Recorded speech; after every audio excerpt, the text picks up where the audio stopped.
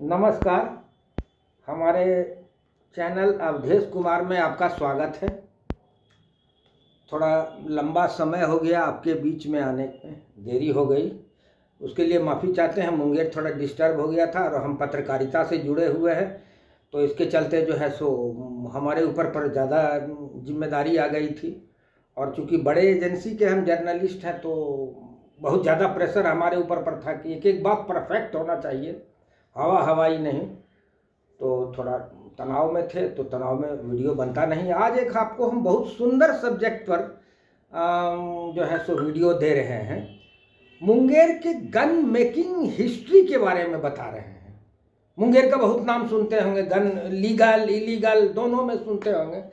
तो आज हम आपको लीगल इलीगल दोनों के बारे में बताएँगे। इसका इतिहास बताएँगे।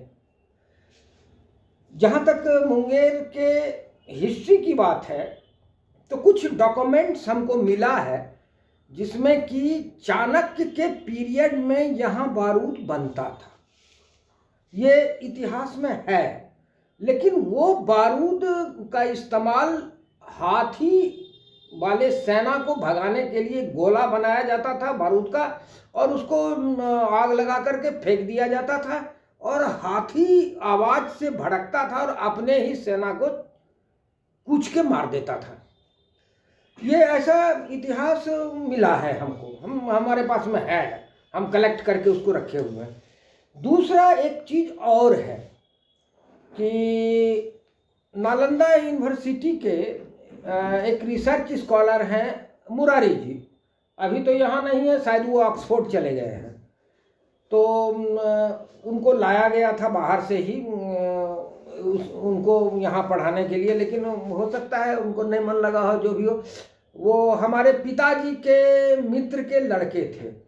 तो वो डच भाषा जानते थे, रिसर्च स्कॉलर हैं। तो उनके हाथ में एक डच डायरी मिली थी, उस जमाने का। तो उस डायरी में लिखा हुआ था क्या कि मुंगेर से बारूद बन के पटना जाता था। पटना में बारूद का तिजारत होता था। और ये बारूद समूचे दुनिया के व्यापारी पटना आते थे और यहाँ से खरीद के ले जाते थे। और वो लोग गोला बम बना करके देश जीतते थे। हम लोग बारूद बेचते थे और गाय के गोबर पर बहस करते थे, गुलाम हो गए। गाय का गोबर निपते खाने से क्या होगा? स्वर्ग जाएँगे, और नीपने से जो है तो किस स्वर्ग के किस स्टेज में जाएँगे? यही करते रह गए। अंग्रेज़ लोग हमारे बारूद से बंदूक बनाया, हमको गुलाम बना दिया। खैर तो इतिहास की बात है। उसके बाद, वो कुछ गैप है। चीन वाले का दावा है कि बारूद हम बनाए हैं और हमारा कहना है कि बारूद हमसे बौद्ध धर्म के भिक्षु लोग गए हैं तो वहाँ टेक्नोलॉजी दिए हैं और वो लोग बनाया है। चूँकि मुंगेर की मिट्टी में पोटासियम नाइट्रेट होता है, उसको यहाँ खरवा मिट्टी बोलते हैं। सफ़ेद सफ़ेद ये होता है। और उसको एक मुंगेर में एक सेक्ट था। वो लोग उस मिट्टी को खरोच करके निकालता था और उससे नाइटर बनाता था, नाइट्रेट पोटासियम नाइट्रेट, जिसको सोरा बोलते हैं। और वो मिट्टी जो नमकीन मिट्टी होती थी, उसको जो निकालता था वो निकालने वाले जाति को यहाँ नोनिया बोला जाता था। आज भी जाति का जो लिस्ट है, उसमें नोनिया है। नोनिया एक जाति है। मुंगेर में है और बिहार में भी है। अब बाहर में है या नहीं है, हमको पता नहीं है, लेकिन मुंगेर में है नोनिया। जो है सो, बिहार में है। बिहार का जो गवर्नमेंट का जो जाति का शेड्यूल है, उसमें है। तो वो लोग बारूद का, मैंने पोटेशियम नाइट्रेट का काम करते थे। लेटर ऑन यहाँ मीर कासिम जो है सो आए, वो रिवेलियन थे। वो नहीं चाहते थे कि अंग्रेज़ लोग यहाँ रहे। तो वो अंग्रेज़ के कमज़ोरी को, अंग्रेज़ की विशेषता को और अपनी कमज़ोरी को समझते थे, वो यहाँ बंदूक बनाना शुरू किया उनको टीपू सुल्तान से भी कांटेक्ट था, उनके संबंधी थे। तो यहाँ से बंदूक बन करके यहाँ के अपने फौज को तो जो देते से देते थे, नाव के मार्फत स्मगल्ड होकर के टीपू सुल्तान के पास में भी जाता था। विश्व को पहला रॉकेट, हो सकता है कि हमारे बात में आपको सुनने में अतिशयोक्ति लगे, विश्व को पहला रॉकेट टेक्नोलॉजी देने वाला मुंगेर है। यहाँ से रॉकेट बन के टीपू सुल्तान के पास में जाता था। टीपू सुल्तान उसको इस्तेमाल करते थे हाल फ़िलहाल में एक कुआँ से टीपू सुल्तान एरा का पचास रॉकेट मिला है। वो हमने पढ़ा है ये इंडियन एक्सप्रेस में या हिंदू में, इसी दो में से कहीं निकला। न्यूज़ का कटिंग हमारे पास में है। तो अंग्रेज़ लोग जब टीपू सुल्तान की हत्या किए, उनको शहीद कर दिए तो यहाँ से वो रॉकेट का नमूना लेकर के गए थे और वो रॉकेट आज भी इंग्लैंड के म्यूज़ियम में है। और कलाम साहब, हमारे जो आदरणीय राष्ट्रपति महोदय थे, उस रॉकेट से इंस्पायर्ड हुए थे। उस रॉकेट से इंस्पायर्ड हुए थे, जो वहाँ म्यूज़ियम में रखा हुआ, उसके उसके बारे में उन्होंने लिखा भी है। तो खैर, ये तो उस जमाने उसके बाद यहाँ मजल लोडर बंदूक बनना शुरू हुआ। मजल लोडर बंदूक बनने में यहाँ लोकल कारीगर, जो चाणक्य पीरियड से ही आया, चला आ रहा था, उस कारीगर को लिए, उस कारीगर में मेन जो है, वो दो आदमी थे। पीरा बढ़ी और बनोहर लोहार। ये दोनों मिलकर के स्टार्ट किए। उनका साला गुरगैन खां था, वो आर्मेनिया का था। वो वहाँ से कुछ कारीगर और लाया जो लेटेस्ट टेक्नोलॉजी का था और यहाँ बनने लगा। यहाँ उस ज़माने में मजल लोडर बंदूक हटिया में बिकता था। हम लोगों को स्टेट था तो हमारे यहाँ भी था। लेकिन जब अंग्रेज़ का राज पाट पूरा आ गया, ईस्ट इंडिया कंपनी पूरे आ गई और आर्म्स एक्ट आ गया तो सबको काट दिया गया। हमको याद है बहुत बचपन में उससे चूल्हा फूकने के काम में उसके बैरल को, कटा हुआ बैरल को लोग, औरत लोग घर के इस्तेमाल करती थी। हिस्ट्री खत्म हो गया, वो चूल्हा फूकने में चला गया, दुर्भाग्य है। उसके बाद यहाँ जब आज़ादी मिली तो यहाँ की जितने बंदूक, जो घरे घर बनता था उन लोगों को डॉक्टर श्री कृष्ण सिंह ने एक जगह, जो यहाँ के मुख्यमंत्री थे, उसको एक जगह, एक कैंपस में रखा गया। वो जेल का हाथा था उसी में। और वहाँ जो है सो, जितने गन फैक्ट्री वाले, माने जितने भी बनाने वाले थे, वो लोग वहाँ शिफ्ट हुए। कुछ नहीं शिफ्ट हुए। चिढ़ में क्या है, हमारा अधिकार पर हमको जो है सो, गुस्सा बढ़ता है तो उन लोगों का तो ख़त्म ही हो गया। उसमें बी एम भूरी वगैरह है, वो लोग का अपना सबसे बड़ा फैक्ट्री था और गजेटियर वगैरह में उनका नाम है, भूरी मिस्त्री का नाम है, लेकिन वो लोग नहीं आ सके कानून कायदा के चक्कर में। ये यह अपना, उनका सेंटिमेंट में नहीं आए। और यहाँ सबों को लाइसेंस दिया गया और यहाँ बनना शुरू हुआ मजल लोडर। लेटर ऑन जो है, सो मजल लोडर बहुत दिन तक बना, लेकिन बाद में मजल लोडर का डिमांड कम हो गया, तब ये लोग बनाने लगे घोड़ा वाला बंदूक हैमर गन इन लोगों का जो मटेरियल होता था, वो विलिस जीप जो उस ज़माने में, अंग्रेज़ के ज़माने में होता था, उसका जो स्टेयरिंग रॉड होता था, उससे बैरल बनाते थे। जब वो वार ख़त्म हो गया सेकेंड वर्ल्ड वार तो उसके बाद स्टीम इंजन जमालपुर में रेल कारखाना था, वहाँ जो स्टीम इंजन स्क्रैप होता था तो उसमें जो स्टीम पाइप होता था, उसको ये लोग फोर्ज करके बनाना शुरू किए और हैमरलेस बंदूक भी यहाँ बनना शुरू हुआ। घोड़ा वाला और हैमरलेस दोनों। बनता गया। उसके बाद, यहाँ बंदूक, एक चीज़ मुंगेर के बारे में आपको बता दें।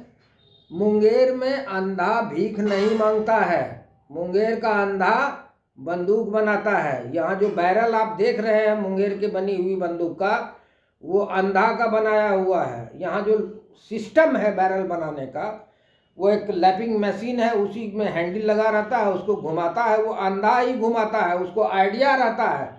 कि कहाँ पर हमारा जो है सो बैरल का छेद छोटा है, लोहा पकड़ रहा है, हमारे रिवर को पकड़ रहा है, उसी ढंग से वो हाथ से देता है टर्न उसमें। और यहाँ के बंदूक में एक और विशेषता है। मेटल वगैरह तो खैर, अब अच्छा किया है, पहले तो बेकार था। वो स्टीम पाइप वगैरह कोई मेटल थोड़े है ऑर्डिनेंस मटेरियल तो है नहीं। लेकिन एक विशेषता यहाँ के बैरल में था क्या? यहाँ जो टेपर चोक होता था इस तरह से। मैंने ग्रेजुअली कम होता गया और कम होके निकल गया। चोक बैरल जो होता है, वो सात सौ उनतीस निकला और एक बैग थोड़ा सा एक इंच दो इंच दबाया छः सौ नब्बे किया और निकाल दिया। लेकिन नहीं, यहाँ ग्रेजुअली बंद करता था। और वो होता था ताड़ के पत्ते से। वो जो रीमर है उसमें ताड़ का पत्ता काट काट के छोटा छोटा पैच दिए रहता था और वो बढ़ाते चला जाता था तो ऑटोमेटिक टेपर हो जाता था। उसको यहाँ के कारीगर लोग, तुम पढ़ा लिखा आदमी नहीं, उसको गैदूम बैरल बोलते थे। गैदूम मैंने गाय के धूम के ऐसा, गैदूम बोलते थे। और लंबा बैरल का बंदूक बनता था, बहुत लंबा लंबा। ब्यूटी वही था टेपर बोर शिकार के लिए अच्छा था, सब चीज़ ठीक ठाक था।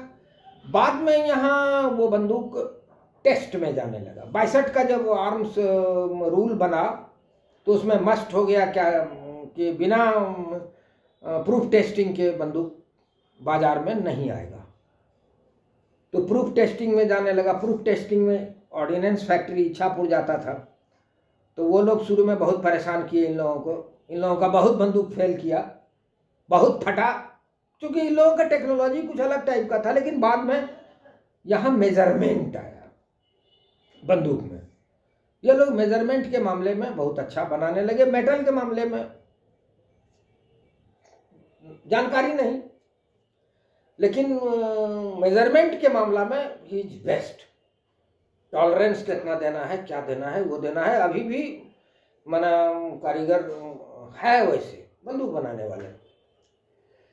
उसके बाद जमाना बंदूक का खत्म हुआ। बंदूक का जो जमाना खत्म हुआ, उसमें एक वजह है। ओनली वन कॉज एक कानून बना कि फाइव एम एम से अब मल्टीपल एमुनेशन बैंड हो गया। मैंने एल जी एस जी सब बैंड हो गया। तो लोगों को लगा कि घर में रखेंगे केवल छर्रा। वाला बंदूक तो हम इससे अपनी फ़सल की सुरक्षा, अपने जान माल की सुरक्षा क्या करेंगे? बाज़ार में एल जी वगैरह मिलना बंद हो गया, बुलेट भी आना बंद हो गया। डर से मैंने दुकानदार लोग इंपोर्ट नहीं किया, उसको समझ में नहीं आया। बुलेट बैंड नहीं था, लेकिन समझ में नहीं आया, और वो एरा जो दस बीस साल का, दस पाँच साल का रहा, वो बंदूक के बिक्री को मार दिया। लोग राइफल लेने लगे। कई तरीके इसमें तो कुछ नहीं तो चिड़िया मारने वाला से हम अपना लाइसेंस भी लें और चिड़िया मारने वाला छर्रा हमको रखना है। ये पहला झटका दिया मुंगेर को।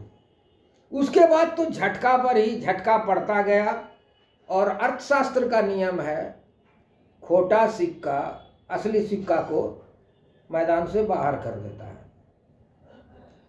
लाइसेंसिंग में इतना खिचखिच होने लगा ब्यूरोक्रेटिक हर्डल नॉनसेंस इतना ज़्यादा हुआ और घूसखोरी हुई। इसके चलते जो है सो बहुत बदनामी हुई। तो जो नए पीढ़ी के डीएम आए, उनको लगा कि ये तो लाइसेंस देने का मतलब है कि पैसा लेके दिए हैं। तो वो देना ही बंद कर दिए और कानून में कहीं रोक नहीं है। लेकिन डीएम को देना है और यहाँ जो है सो ब्यूरोक्रेसी पर पॉलिटिशियन अब उतने काबिल नहीं रह गए जो कि ब्यूरोक्रेट को टिक पकड़ सके। ब्यूरोक्रेट अपने मनमानी करने लगा और लाइसेंस मिलना बंद हो गया तो लोगों को लगा कि अब छोड़ो साला को जो है सो हम नाजायज रखें। और यहाँ नाजायज बनने की शुरुआत हुई तो पहले कट्टा बनता था। कट्टा में क्या होता था? कट्टा का अंग्रेज़ी नाम भी जान लीजिए, उसको डेरिंजर बोलते हैं, कट्टा को। कट्टा का अंग्रेज़ी नाम है डेरिंजर। वो अमेरिका में काव बॉय लोग जो भेड़ा और ये वो चलाता था, वो लोग रखता था भेड़िया से बचाव के लिए। डेरिंजर, उसको बोलते थे। वो सिंगल शॉट का पिस्तौल होता था और उसमें जो है सो बंदूक की गोली या राइफल की गोली उसमें इस्तेमाल होता था। तो यहाँ पहले वही बनना शुरू हुआ। वो लोग जो है सो छुट भैया क्रिमिनल और लोग रखने लगे। लेटर ऑन टेक्नोलॉजी का ज़माना है, यहाँ जो है सो बाहर गन फैक्ट्री वाले लोग को तो खोलने भी नहीं आता है कट्टा कट्टा बाहर वाले लोग जो लोग थे, वो लोग टेक्नोलॉजी कहीं से लाए। और टेक्नोलॉजी लाए और यहाँ ऑटोमेटिक पिस्टल बनना शुरू हुआ। ऑटोमेटिक पिस्टल दो तरह का यहाँ नाजायज बनता है। एक, बरेटा का फ्रेम रहता है, लेकिन सिस्टम उसमें मैकारोब रसियन का रहता है। दूसरा जनरल कोल्ड टाइप का बनता है, लेकिन सिस्टम सिंपल ब्लोबैक बनाता है। वो क्राइम वेपन है। सिंपल वो गोली दागने का डिवाइस है, वो आर्म्स की कैटेगरी में नहीं आता है। उसके बाद यहाँ तो स्टैंड गन भी बनने लगा। उसके बाद के सैंतालीस वगैरह भी बनने लगा, पकड़ा भी गया। तो पुलिस तो पकड़ रही है। और अब लोग भाग करके जंगल पहाड़ में चले गए हैं। इस संबंध में हमारा एक डिटेल इंटरव्यू एक घंटा का ललन टॉप एक चैनल है न्यूज़ चैनल है। उसमें हमारा मुंगेर के इस पर है। आप लोग देख लीजिएगा, उसमें और ज़्यादा विस्तार से हम दिए हैं। और हाँ एक चीज़ और आपको बता दें हॉलो पॉइंट बुलेट जो आप लोग इस्तेमाल करते हैं, वो मुंगेर के कारीगर का ही बनाया हुआ है। उसको दमदम बुलेट बोलते हैं। वो यहाँ बनता था, आपको दमदम जो ऑर्डिनेंस फैक्ट्री है, वहाँ बनता था और मुंगेर के कारीगर ने ही बनाया था। वो अफगान वार में, ब्रिटिश अफगान वार में इस्तेमाल किया था, क्योंकि अफगानी लोग जनरल थ्री नॉट थ्री से गिरता नहीं था। तो उसको स्टॉपिंग पावर के लिए यहीं का कारीगर लोग ईजाद किया था। हम समझते हैं, अब तो ये इंडस्ट्री लगभग मृत्यु प्राय हो गया। इसको मार दिया सरकार ने। ढाका के मलमल को अंग्रेज़ ने मारा और हाथ से बनाने वाले बंदूक को अपने सरकार ने मार दिया। अब यहाँ एक दो कंपनी पंप एक्शन बना रही है, शुरुआत है, हमने ही डिज़ाइन दिया है, देखिए। सरवाइव करे तो करे, नहीं तो मुंगेर के गन इंडस्ट्री का भविष्य अंधकार है। हाँ भाई, हमारे चैनल को आप लोग सब्सक्राइब काहे नहीं करते, एक महीना में एक एक डेढ़ डेढ़ लाख आदमी हमारे वीडियो को देखते हैं, लेकिन सब्सक्रिप्शन के नाम पर पंद्रह बीस ही होता है महीना में। ये हमारे लिए कष्टदायक है। गूगल हमको एक पैसा नहीं देता है यूट्यूब ना हम एक पैसा अब तक लिए हैं। आपके सब्सक्रिप्शन से थोड़ा हमारा हौसला बढ़ता है। हम और अच्छी अच्छी चीज़ बनाएँगे। थैंक्स